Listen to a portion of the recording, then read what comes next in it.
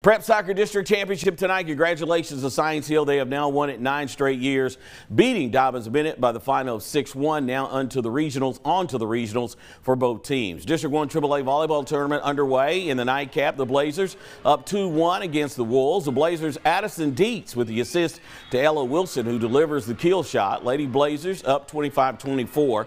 Next serve, the Wolves Remy Smith sets this one up for Cami Clark. The light tap over the net. The Wolves tie the set at 25 all. Blazers kept coming. Dietz hits this one pass to Wilson. It bounces off the net for the score. Boone's now up 26-25. Later, Dietz with the assist to Ashlyn Seymour, who will tap it over. The Wolves defense giving Boone the set and the game tonight, 3 to 1.